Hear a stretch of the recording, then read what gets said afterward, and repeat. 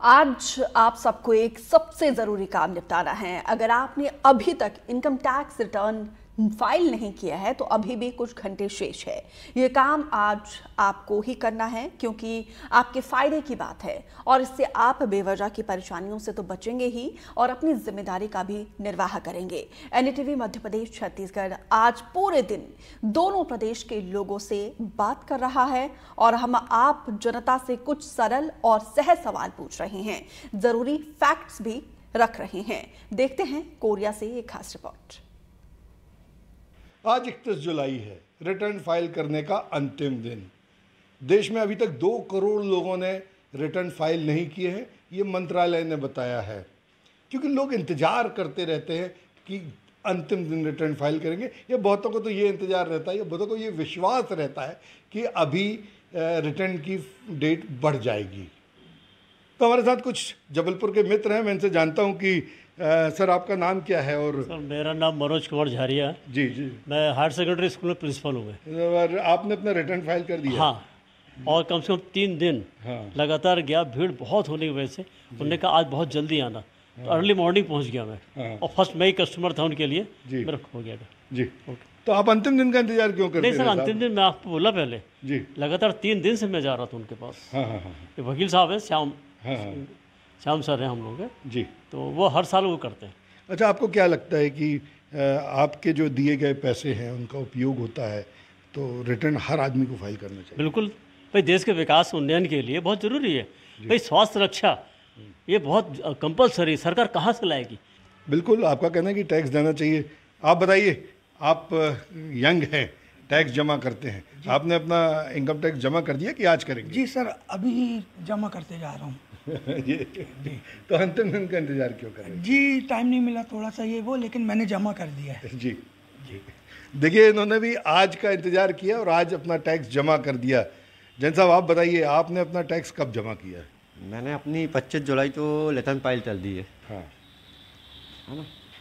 और आप दूसरों को उससे क्या कहना चाहते हैं? किस तरह के देखिए कई बार कई प्रॉब्लम्स आ जाती हैं जितनी वजह से लेटन में लेट होती हैं फाइलें होने में।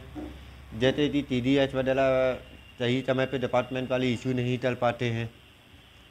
और कई बार लेटन रिवाइज करना पड़ती है जितने इनकम टैक्स डिपार्टमेंट ही डेटा रिटॉल नहीं कर पाता है। जितने कि सामने वाले तो सही डेटा नहीं मिल पाता है। आपने अपना रिटर्न फ़ाइल किया कब किया और कितनी परेशानियाँ आई? मैंने 25 जुलाई को अपना रिटर्न फ़ाइल कर दिया।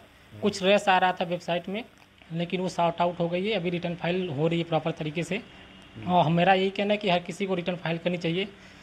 देश के इंफ्रास्ट्रक्चर में और डेवलपमेंट में भाग अब ज़रूर पार्टिसिपेट करना चाहिए। ये तो रिटर्न फ़ाइल करने वाले हैं। हम आपको एक चार्टर अकाउंटेंट से मिलवाते हैं, जिन, जो कि, सब जानते हैं कि लोग कब फ़ाइल करते हैं, कब तक करते हैं और क्यों लेट करते हैं।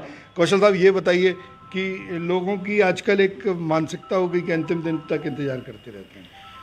हाँ हमारा तो ये अनुभव रहा है करीब पिछले 30-35 सालों से कि अंतिम तक ही लोग आते हैं और मुझे लगता है कि अंतिम 10 दिनों में ही लगभग 75 प्रतिशत रिटर्न फ़ाइल होती हैं। ये मानसिकता है और पता नहीं ऐसा क्यों होता है। नहीं लोगों को एक ये भी लगता है कि आज इकतीस तारीख है अभी तो सरकार डेट बढ़ाएगी फिर मतलब ये ऐसा लगता है ना कि सरकार तो अभी बढ़ा देगी। हाँ सा पिछले सालों में ऐसा देखा गया है कि पहले बढ़ा दी जाती थी लास्ट मोमेंट पर लोगों के काफ़ी काफ़ी जब अगर आ, आ, सरकार के पास जाते थे आवेदन तो बढ़ा देते थे लेकिन पिछले चार पाँच सालों से मैं देख रहा हूँ कि लास्ट डेट सरकार ने बढ़ाए नहीं है।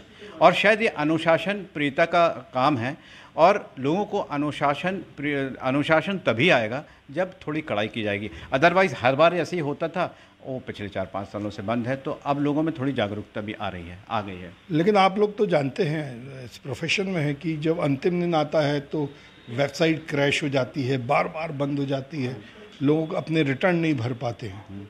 बिल्कुल ये कारण ऐसा होता है क्योंकि बहुत ज़्यादा ट्रैफ़िक हो जाता है वेबसाइट में तो क्रैश हो जाएगी। इतने सक्षम नहीं है हमारे यहाँ के सॉफ्टवेयर। तो फिर भी लोगों को समझ आता नहीं है बात। लेकिन फिर भी मैं देख रहा हूँ क्योंकि आज भी मैं देख रहा हूँ कि हमारे ऑफ़िस का भी ना बहुत बड़ा काम कल तक हो गया। तो आज मुझे इतनी भीड़ नहीं दिख रही है।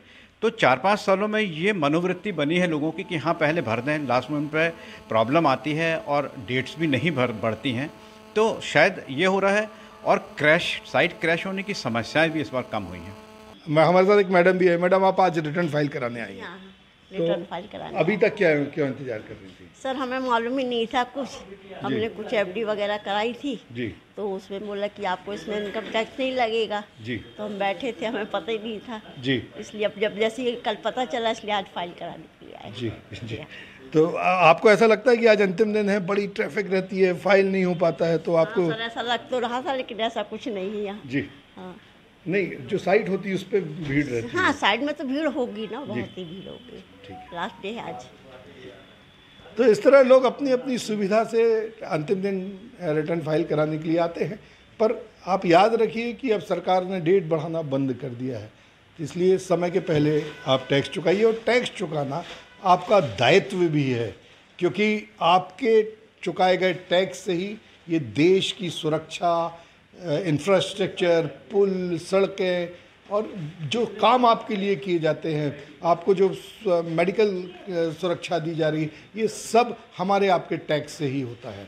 इसलिए टैक्स चुक, चुकाना और पूरा टैक्स चुकाना हमारा दायित्व भी है। वीरेंद्र शर्मा के साथ संजीव चौधरी एन डी